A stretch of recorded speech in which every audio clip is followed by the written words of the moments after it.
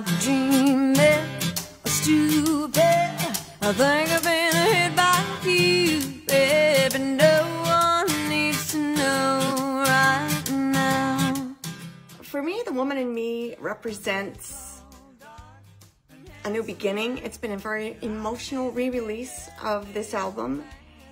And I realize now in retrospect that it is it was really a launch of the singer-songwriter Shania Twain. We don't even know, yeah, but no. I find inspiration in my life from the simple things. You're not in love. I'm out of here.